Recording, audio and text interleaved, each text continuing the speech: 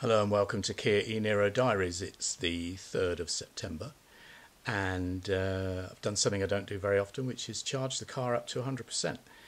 Uh, the reason for that is tomorrow we are driving down to the Dordogne. Um, been invited to a tour of a winery um, which sounds rather interesting. Um, going to take a picnic with us and it's about a 360 kilometre round trip. I think it's. Uh, I'm not sure on that.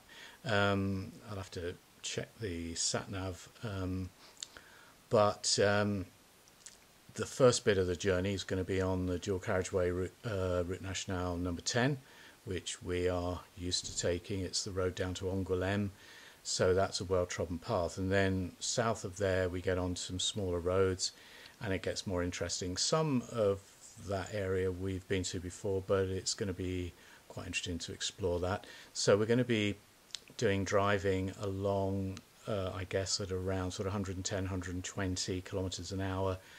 Um, so sort of 70, 75 miles an hour um, on the dual carriageway, and then um, possibly, uh, well, I don't know. I mean, it's it's going to be slower anyway. It's it's about a it's about a two and a half hour journey according to Chargemap when I uh, when I put that uh, that in. I, I just checked to see what uh, charging stations are around um, the Dordogne. But actually, we shouldn't need to charge. Um, it should be well within the range of the car. So anyway, let's uh, have a look, see what uh, the guessometer, I, I, am led to believe it's called the GOM, as uh, some of the better YouTubers call it. Let's see what, what it's saying about our range. So just giving the car a bit of a clean uh, inside. Uh, might do the outside, it's not too bad actually. It's beautiful warm weather this week. Um, and let's power up to see what range it says we've got. Okay, so 537 kilometers range. So that's, uh, what's that in old money? I don't know, about 320 miles, I guess. Um, and yeah, there we are, 100%. So anyway, uh, that's tomorrow. Uh, we're not going to leave fantastically early, uh, probably about 9, 9.30, get down there for lunch and say have a tour of this winery, which should be, and I guess there'll be a bit of tasting as well. Okay, so here we are on our way down to the Dordogne and on the N10 half an hour into our trip, we are behind a a uh, transporter load of Volkswagen ID3s, and I did read in the press that this was the first uh, batch that are going to be delivered into France. We're going to be coming this week, so there we go. How many is that? Uh, four, five, six, seven. Seven brand spanking new electric cars. I like this one though. so we're uh, in the Dordogne now, the department of the Dordogne. Uh, Mrs. E. Nero driving there. Hello. this is a crazy trip because it's only 194 kilometres, but it takes forever. So it's um, quick down to Angoulême and then on these little roads uh, there's no traffic. The first 30 40 kilometers just going through vineyards because you're fairly close to Bordeaux there. Um, yeah the Gironde Valley. And we've done 154 kilometers. We've still got a range of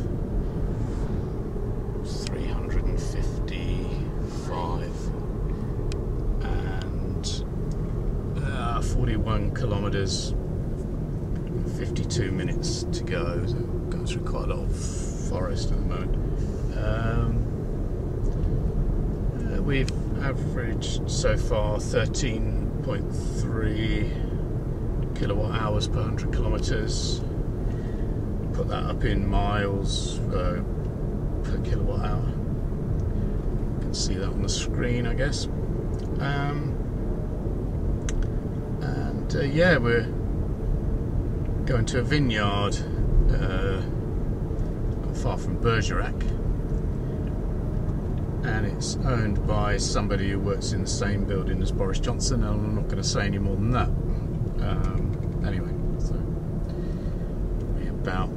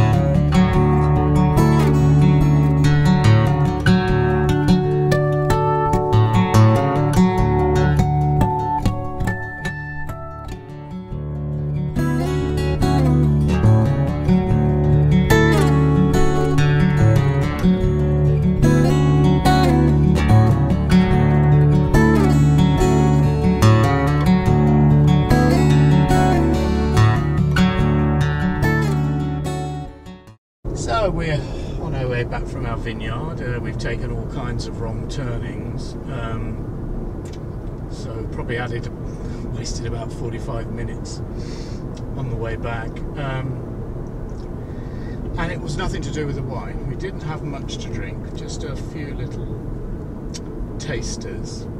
And that was, well, it's half past seven now. That was about four, four hours ago that we had any wine. So, um, yeah, we've done 313 kilometres, uh, got about another 100, 120 to get home, and we've got 203 on the guessometer. Um, and we've so far averaged today 12.4 kilowatt hours per 100 kilometres, so I'll put that in miles kilowatt hour as well. Um, yeah, so taking a different route on better roads, but it's turned out to be longer in kilometres. We, did 194 kilometres getting down to the vineyard, and I think by the time we get back, we would have done about 220 coming back. So it's going to be about 400, about 410, 420 by the time we get home. Um, started the day with a range of five, 537. So yeah, we'll probably have about um, 80 or 90 kilometres left when we get back home. So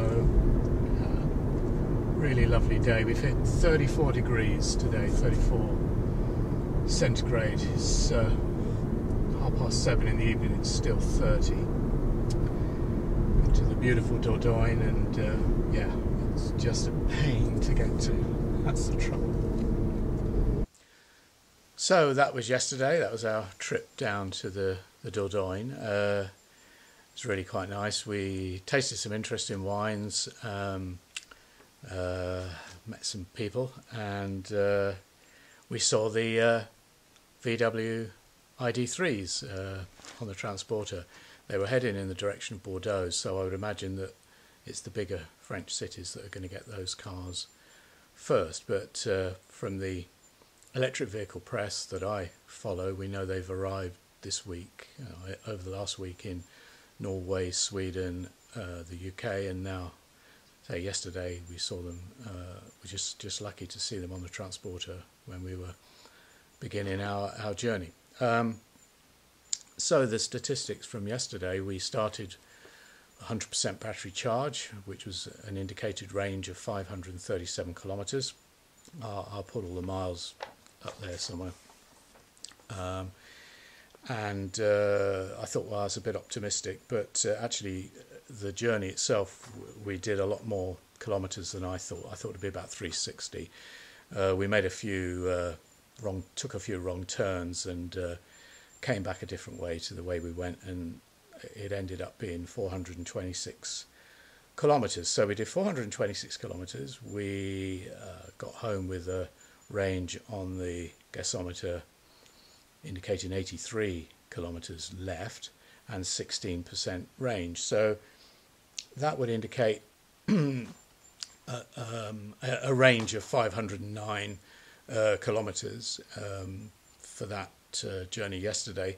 And I say it was a mixture of uh, initially uh, on the way down to the Dordogne, it's about 60 kilometers of um, pretty fast dual carriageway. Um, and then it's a mixture of sort of single track, uh, uh, you know, sort of route nationale, and then very, very small. I mean, the Dordogne is a crazy place. You've got sort of uh, one or two roads going. Well, there's one main road going east-west through the Dordogne Valley, and then uh, which gets really busy, and you keep having to stop at lots of little towns. Uh, and then you get off the beaten track and there's just no traffic at all, but the roads are really slow. You're talking 60 to 70 kilometres an hour if you're lucky.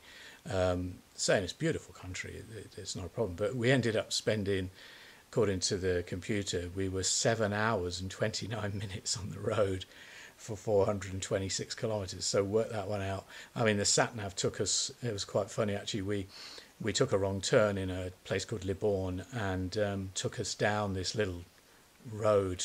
We, we, it thought to get us round some traffic, and we ended up um, down this little kind of unmade road um, that was heading to a drainage ditch underneath um, un, un, un, underneath a, a, main dual carriageway.